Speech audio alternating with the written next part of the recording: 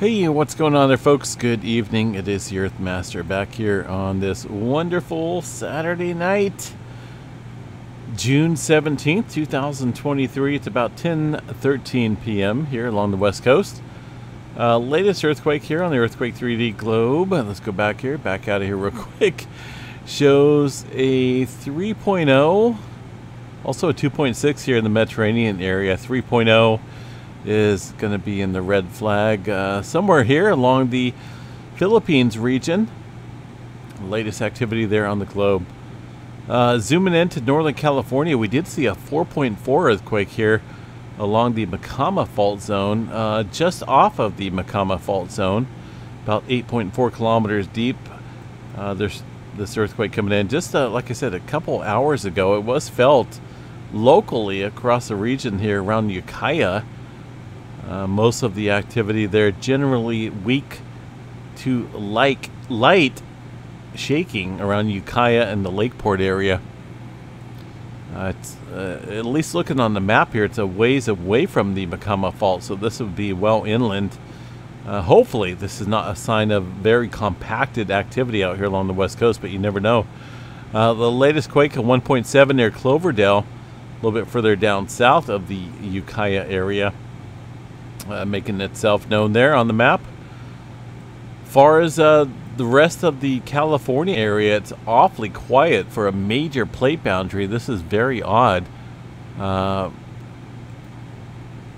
not seeing any major movement across the Bay Area or the central portion here of the San Andreas Fault. And uh, further down south, things are very minimal as well. This has been the trend of activity here recently, so um, it's very odd for a major plate boundary out here to be this quiet.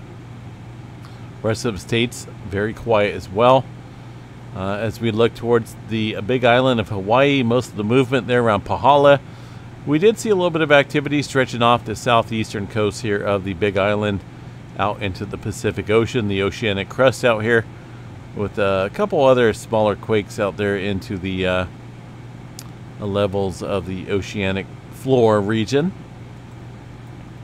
Around Japan, seen things uptick as well. Uh, with a few earthquakes, uh, including a 5.7 around the Kuril Islands. Most of the activity, though, in the 5 and the 4 range, but a noticeable uptick here across the uh, Japan region. As you can see here on the globe, a lot of this activity, deeper movement quakes with that uh, large 5.7 there into the Kuril Kamchatka Trench. Very deep earthquake. And uh, this is older movement, though, from this morning. Far as newer activity goes, most of it is cluttered up here south of the Philippines with a uh, quite a few twos and threes um, in the area south of the Philippines there, as you can see, clustered up into that level. I uh, got a 3.1 coming in just south, uh, southeastern Australia. Uh, somewhat of an odd earthquake out here near the southeast coast of Australia, three kilometers deep. The map here showing the interactive epicenter area southwest of Sydney, it looks like. Of course, that is a major populated area out there, Sydney, Australia. I would love to visit out there. I'm not even joking. One of these days we'll get out there, but uh, for now, we'll just report on earthquakes that are occurring down in that area. 3.1 in the uh, Sydney, Australia area. Far as any further movement across New Zealand, let's go ahead and zoom into the GeoNet servers here. See what we have, right?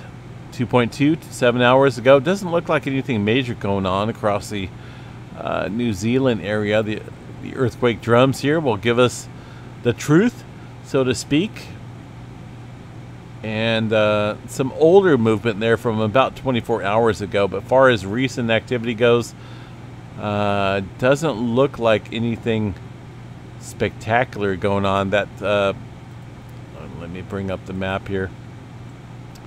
The activity you're seeing there on the graph was about 14 hours ago or so, and that's going to be the. Um, I think we had about a four pointer or so. Let me see here. 4.2. That was the earthquake down there along the Alpine Fault, specifically right there on the Alpine Fault, as you can see here on the map. Uh, let's zoom in just a little bit. The plate boundary here consists right across this island. You can pretty much draw uh, the plate boundary across, across the northern segment of the South Island area. And that's where that 4.2 came in, uh, along with uh, uh, a little bit of activity following that movement. But uh, New Zealand definitely in the mix there of larger scale potential.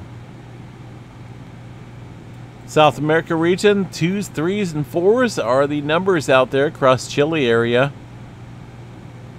Uh, aside from that, uh, let's see what we got here around the area of Afghanistan. It looks like. Let me well outside of Afghanistan. This is actually in China. Quite a few fours kicking off here earlier tonight. As far as the historical data goes out here, looks like uh, we have seen some uh, movement out there doesn't look like anything major. Maybe some fours and fives in this area of China. But it is a ways away from the major plate boundary here down south along the Himalayas, south of the Himalayas. Uh, but they do get uh, some occasional earthquake activity out there. Uh, across the Mediterranean, most of the activity here um, smaller movement. We did see a 4.3 in the central Turkey area earlier this afternoon. As you can see here on the map, most of the general movement here across the area, uh, some smaller quakes, including a 2.6 coming in uh, within the last 20 minutes or so. Atlantic Ocean, pretty quiet. Uh, let's go over and check out the tremor map here tonight for the Cascadia subduction zone 12. Measly tremors there across the uh, northern California area. This is the southern end of the Cascadia subduction zone. Nothing major going on there. Uh, for now, Yellowstone National Park, as we check out the Wyoming area, shows uh, uh, looks like there was a little bit of activity here across the central portion here of the uh, Yellowstone area. That was, oh goodness, that was a good eight or ten hours ago or so. Let me see what we got for movement. I don't think, uh, well, yeah, they, they actually reported that there. Well, has it been tw 12 hours? Maybe. Close to 11 hours, 2.8, a little bit further down south here of Lake Yellowstone. All right, space weather activity as we look into the uh, solarham.net site. M-flare earlier today, peeking out. But for the most part, we're looking at 99% chance for a C flare, M flare at 30, X flare around 5% chance. And for the most part, uh, the coronal, or at least the solar flare activity threat is, um, well, I want to say it's around this region right here, but even so, it doesn't look all that active. This area here is very quiet, it's very stable, and even though even though this is a ginormous sunspot up here, things look relatively stable uh, for the most part across that area. Uh, right now it looks like 33, 35 beta gamma class here. So 33, 35 is going to be this regional sunspot right here that harbors a little bit of potential here across these uh, across this uh, uh, the sunspot region that may pose a threat for some elevated activity. But looking at the latest magnetogram here shows it uh, fairly stable. But we'll continue to watch that though for some further movement. We'll see how it plays out, right?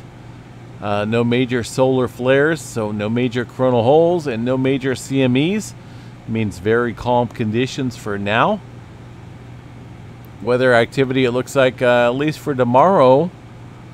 Uh, let's see what we got here.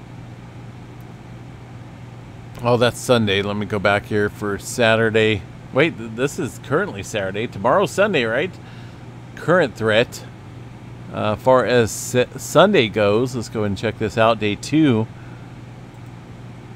uh, most of the activity shifts well to the east here to the southern states around Arkansas, Louisiana, and into uh, Jackson. Jackson area looks like uh, Mississippi. Tornado probability only 2% chance. The main threat looks like some damaging hail potential out there.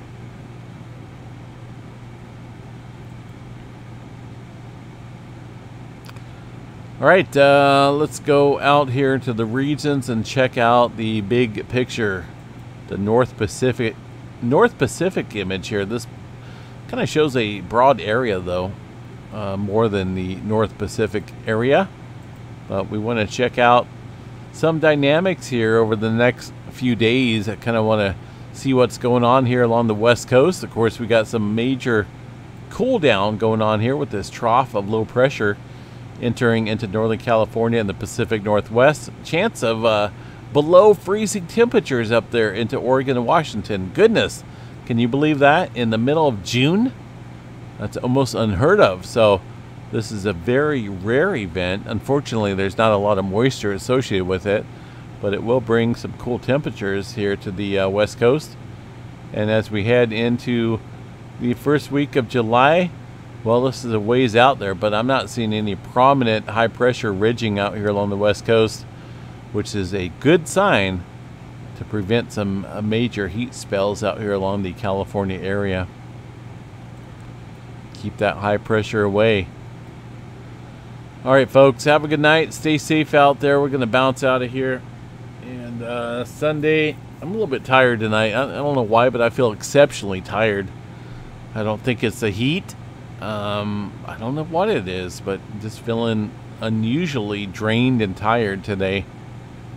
We'll catch you guys back out here tomorrow, Sunday morning, for the update. Have a good night, everyone.